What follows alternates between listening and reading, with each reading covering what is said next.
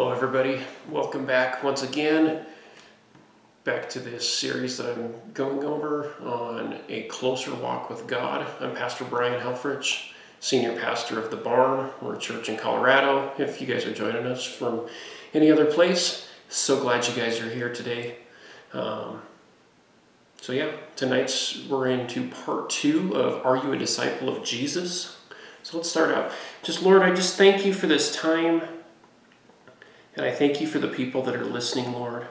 I thank you that, that everyone listening has a heart and they want to grow into having a closer walk with you, Lord, and and learning what it means to have a be a disciple and have discipleship with you, to learn from you, Lord. I just lift up everyone listening, I just and myself too. I just ask me to be, that you help me be a vessel to your people, Lord, to teach your word. In Jesus' name we pray. Amen. So, thank you so much for joining us, everyone. So, I'm going to do a quick review. Last week, uh, last week we went over uh, number one, part one of Are You a Disciple of Jesus? Uh, some of the things we touched on. And if it's on YouTube, it's on Facebook, we may put it on some other platforms. Uh, go check it out if you didn't uh, get a chance to watch it. But I'm going to review just in case you've forgotten anything over this last week. We've got uh, first the definition of a disciple is a learner or an adherent, um, somebody that's an imitator of, of their teacher. Um, the goal of being a disciple is to be like your teacher. You know, so if we're going to be a disciple of Jesus, we want to strive to be like Jesus. Um, some of the marks of being a disciple a disciple is one who abides in Jesus' words. A disciple is also one who loves the brethren. And the third thing, a disciple is one who bears much fruit. So we're going to bear fruit if we're truly a disciple of Jesus. Um, in this lesson today, I'm going to dive into part two Are you a disciple of Jesus? I touched on this briefly last week on um, this first point. First point we're going to talk about is the cost of being a disciple. Uh, part of being a disciple of Jesus is that Jesus has to come first. If we go over to Luke 14 26, it says, If anyone comes to me and does not hate his father and mother, wife and children, brothers and sisters, yes, and his own life, also, he cannot be my disciple. Jesus isn't coming out with a new theology. It's not this theology of hate. Um, hate is used as a comparison word here. We need to love Jesus so much that it seems like we hate everyone else. Um, this this kind of description word it, was used in the Old Testament. Um, it talked about how uh, Jacob loved Rachel and that he hated Leah. But obviously, he didn't truly hate in the in the sense that we have of hate um, these days. That he didn't really hate Leah. You know, this is obvious because they continued to have children together. If he truly hated her, he would have nothing to do with her, wouldn't take care of her. Um, they continued to have kids, so I don't think they truly that he truly hated hated. Um, but we've got to have a love and a loyalty for Jesus that comes above anything else. Um, the loyalty has to come before even our family. If you look at Matthew 10 34 through 37, it says, Don't think that I came to bring peace on earth. I did not come to bring peace, but a sword. For I have come to set man against his father, and a, a daughter against her mother, and a daughter in law against her mother in law. And a man's enemies will be those of his own household. He who loves his mother his father or mother more than me is not worthy of me. And he who loves son or daughter more than me is not worthy of me. So this loyalty, it's even got to come before ourselves. Um, so Jesus said, then he said to them, And if anyone desires to come after me, let him deny himself, take up his cross daily, and follow me. For whoever desires to save his life will lose it, but whoever loses his life for my sake will save it. For what profit is it to a man if he gains the whole world and is himself destroyed or lost? And that's Luke 9 23 through 25. Now, this has always been a little bit hard to comprehend. Uh, these days, we don't have we don't see people carrying crosses, but back in that day, everyone knew exactly what Jesus meant when he talked about this. Um, carrying a cross that was a one-way trip to death. Nobody ever came back down the hill from carrying their cross. You know, it'd be similar as like today saying, pick up your electric chair or pick up a hangman's noose and follow me. Uh, we must be willing to suffer for Christ. Luke 14 27 says, And whoever does not bear his cross and come after me cannot be my disciple. That's Luke 14 27. Trying to live godly lives inside an ungodly world, we may find that following Christ results in persecution and ridicule. The cross is a symbol of suffering, of death, of shame, of ridicule, rejection, self denial, um, all of these things. So we end up, ways that we end up suffering for Jesus, we suffer a lifelong battle against sin. We try not to sin. We try to do things out of our own power. Uh, it's it's a daily fight not to sin and it goes on all of your life. You never you never get past it. It's not something we just one day finally mature from. We also suffer a war against Satan and the powers of darkness as we advance the kingdom of God. Uh, another way we suffer, we suffer the hatred and ridicule of the world by testifying the love that it's, uh, we testify in love to them that its deeds are evil we separate ourselves both morally and spiritually. We refuse to accept the standards of this world. Um, so we get persecuted in that way. And then, just like Jesus, we also suffer ridicule and persecution from the religious world. Uh, there's a lot of that going on right now. You've got pastors coming out against pastors, Christians coming out against Christians, and it, it it's not supposed to be that way, but those are ways that we suffer persecution. A lot of persecution comes out of the church. If you look at 2 Timothy 3:12, it says, "Yes, and all who desire to live godly in Christ Jesus will suffer persecution." Simply put, we must forsake all to follow Jesus. Luke 14:33 says, "So likewise, whoever of you does not forsake all that he has cannot be my disciple. So if you're not ready to forsake everything to follow Jesus, you truly can't be a disciple of Jesus. So this is where, and if you go back through uh, Luke 14, you know, it talks, you need to figure out what it's going to cost you to be a disciple of Jesus um, and to, to go through with it. It talks about like building building a tower or going to war, you know, generals sit down and figure out what the cost is going to be. How many men am I going to lose in a battle? What are the chances of me winning? Or do I need to go and make some kind of peace treaty? Um, you know, if you're building, if you're a carpenter building a tower, you're going to sit down and figure out what all those, what all the costs are going into this project, or you're gonna you're gonna start on something that you can't finish. You know, so that's where Jesus is just talking. Count the cost. Figure out what it's going to cost to be a disciple. Um, and I just tell you that being a disciple of Jesus is just completely going to be way worth um, anything that the cost, way more than what the cost is. So, first thing, Jesus must be the King and Lord of your life. Second thing, nothing can take precedent over him and his will for us. So it's going to cost to be a disciple of Jesus. But there's also rewards that come from being a disciple of Jesus. So that's what we'll move into next, is looking at the rewards of being a disciple. So first we'll look at the promises of future blessing.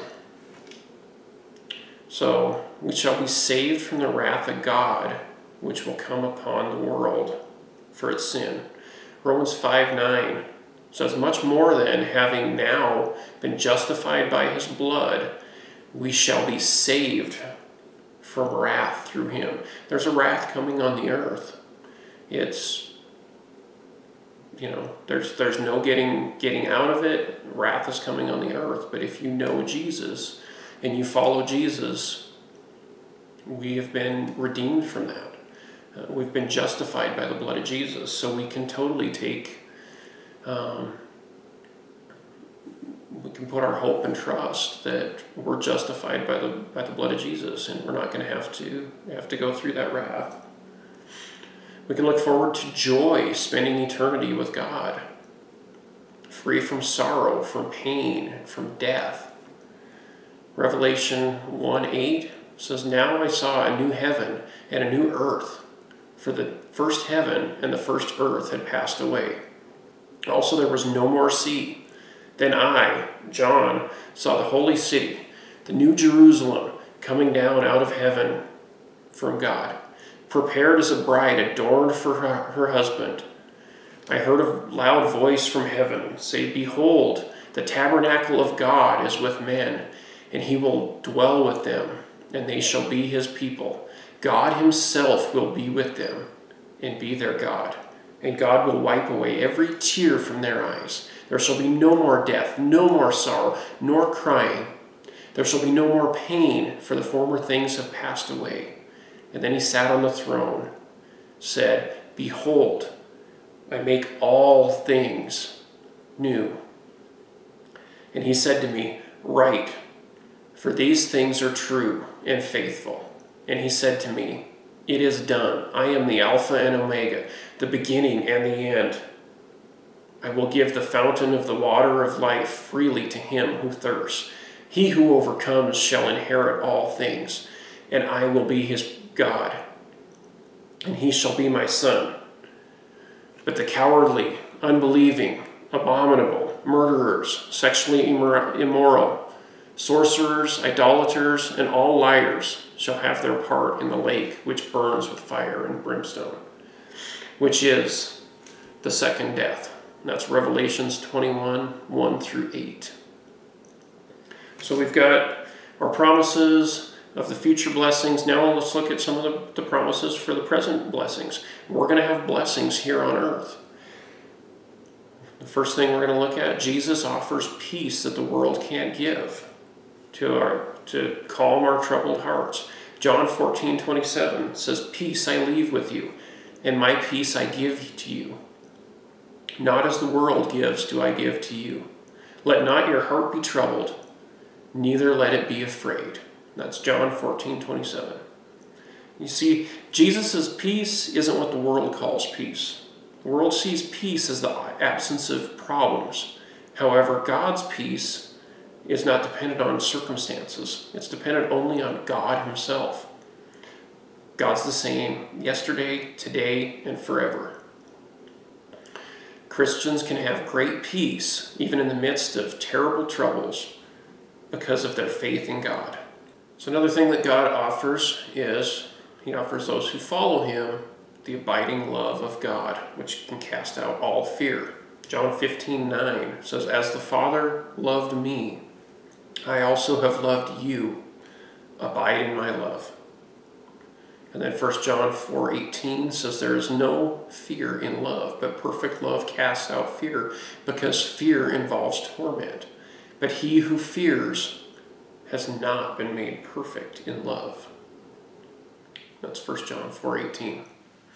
So there are many other blessings that I can talk about right now, um, and that I could mention that are enjoyed by disciples of Jesus. But these should be more than enough to see that discipleship's costly, but the rewards far exceed the cost.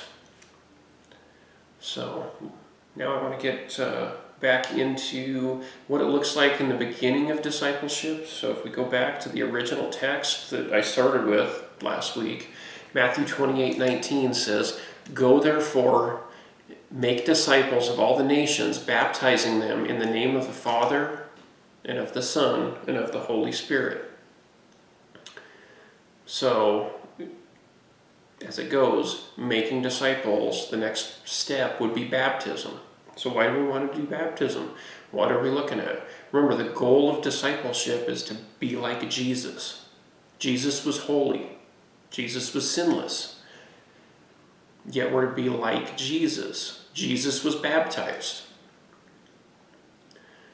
Um, you can look that up. Jesus in uh, Matthew 3 13 through 17 talks about when Jesus went down and he was baptized by John the Baptist. Fortunately, baptism is described as an act of faith which puts us in contact with the cleansing blood of Jesus Christ so we can be forgiven. So Acts 2:38. Then Peter said to them, "Repent and let every one of you be baptized in the name of Jesus Christ for the remission of sins, and you shall receive the gift of the Holy Spirit." So, baptism also means that one puts on Christ. So Galatians 3:27 says, "For as many of you as were baptized into Christ have put on Christ." So we're putting on Christ we're baptized. So baptism is, you know, the logical starting place for true discipleship. Um, what is baptism? Baptism is it's an act of submission which must be precedent or preceded by faith in Jesus and repentance for your sins. Uh, baptism ends up, it has to be full immersion. It talks in, the, in God's Word about being buried with Christ, uh, sprinkling on the head, um, pouring on of water. Uh, none of that would would uh, justify the burial with Christ. It has to be a full immersion in water.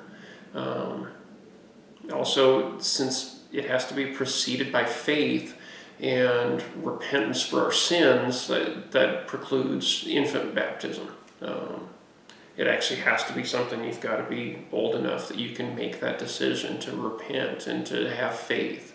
Those are things that a, an infant doesn't have. We're all all about dedicating our babies, but baptism is is for people when they get older um, and they can make that decision. I'll get deeper into baptism at another time. Um, there's a lot of things I can talk about, about with that. Um, but our, our sins are washed away with the blood of Jesus. We're regenerated and renewed by the Spirit of God so that we can live for God. Um, Titus 3 5 and 6 says, Not by works of righteousness which we have done, but according to his mercy he saved us, through the washing of re regeneration and renewing of the Holy Spirit, whom he poured out on us abundantly through Jesus Christ our Savior. Titus 3 5 through 6. Um, another thing, it's truly a rebirth involving water and the Spirit. John 3 5 says, Jesus answered, Most assuredly I say to you, unless one is born of water and the Spirit, he cannot enter the kingdom of God. Um, it's another verse. I don't want to get too far into that, but I don't believe that baptism um, is required for salvation. I think, um, you know, if you haven't gotten baptized, I highly recommend it. But if somebody was to die between getting saved and getting baptized, they're still going to end up in heaven. But baptism is a, is a thing about obedience that we must follow. So we need to teaching and obedience must be followed. So Matthew 28 20 says, Teaching them to observe all things that I have commanded you. And lo, I am with you always, even to the end of the age. So this brings us back to the very definition of discipleship. Jesus taught that we are to be taught, we're to be learners. He taught that we are to observe, we're be, to be adherents and doers. We need to continue on with life devoted to learning and doing all that Jesus commanded us. So I'm going to wrap things up for tonight.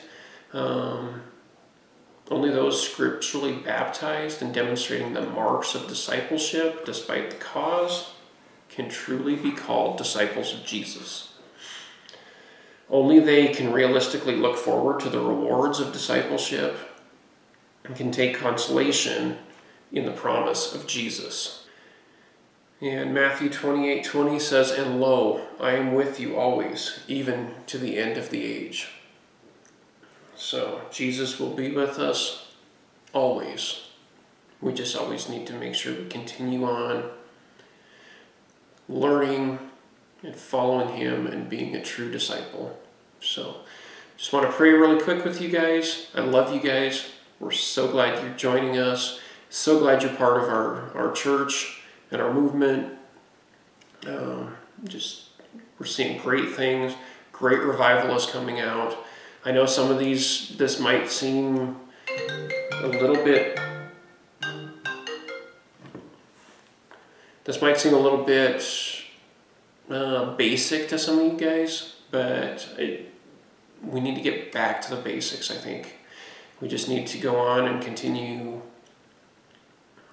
um, just kind of get back into the basics and go through a lot of the stuff that I'm, I'm learning as I study are things that I I don't remember ever being taught. You know, I, I had a little bit of a different walk into into salvation, but you know, it's it, it they're definitely things, and we'll continue to build on this as we go through this series. Oh, a closer walk with God, and I think it's really going to bless you guys. Thanks for joining us. And I just want to pray, Lord, I just lift up everybody in the sound of air that, that hears my voice. As this goes out, if they're in their homes, wherever they're at, if they're on YouTube, Facebook, any place, Lord, I just lift them up. They care about you, Lord. You know the intents of their heart. And I just ask that you would teach them and help them be doers of your word, Lord so that they can become true, true disciples of, of you, Jesus. We love you, and we just thank you so much for your mercy on us, Lord. In Jesus' name we pray. Amen. All right, everybody. Have a great night. Take care. talk to you guys soon. Bye.